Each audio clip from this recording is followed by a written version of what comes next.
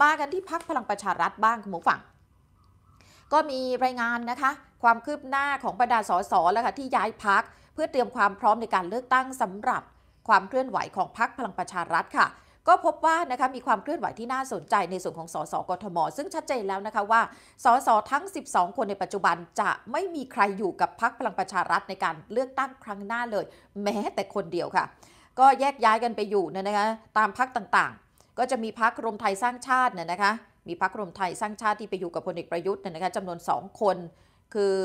คุณทิติพัฒน์นะคะโชตเดชาชัยนันค่ะ แล้วก็คุณประสิทธิ์มหามัดส่วนพักภูมิใจไทยจะมี 3 คนด้วยกัน โดย 2 คนแรกนะคะได้รับการทาบทามจากคุณพุทธิพงศ์ปุณกันค่ะ ก็คือคุณจักรพันธ์พรนิมิตและคุณ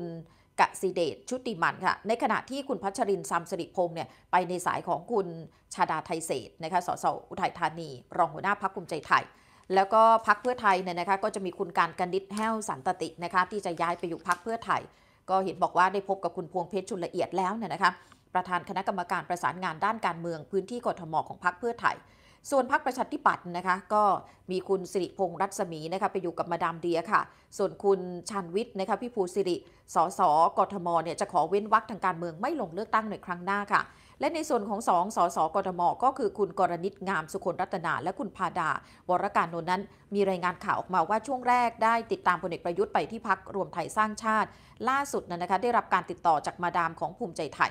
ให้ไปเข้าร่วมกับทางพักภูมิใจไทย ซึ่งอยู่ระหว่างการตัดสินใจค่ะ คือถ้าว่าตอบรับนะคะก็จะต้องลาออกจากสสในวันที่ 15 ธันวาคมนี้ เพื่อไปเปิดตัวกับพักภูมิใจไทยช่วงบ่ายวันที่ 16 ธันวาคมนี้ค่ะ และร่วมประชุมพักนัดแรก ในการเตรียมความพร้อมการเลือกตั้งของพักภูมิใจไทย หนังสือพิมพ์ลงเอาไว้ว่าอย่างนี้ แต่ล่าสุดเนี่ยนะคะมีข่าวกันออกมาว่า ทั้งคู่นัดตัดสินใจที่จะเข้าสังกัดของรวมไทยสร้างชาติแล้วนั่นนะคะ จะไม่ไปภูมิใจไทยค่ะ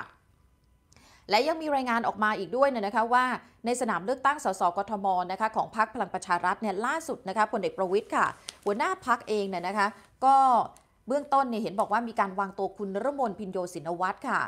ให้เป็นผู้คุมสนามเลือกตั้งสสกทมซึ่งตอนนี้ก็กำลังอยู่ระหว่างการร่างนโยบายยุทธศาสตร์ของพรรคนะคะสำหรับคนกรุงเทพ รวมไปถึงการคัดตัวนะคะว่าที่ผู้สมัครสสกทม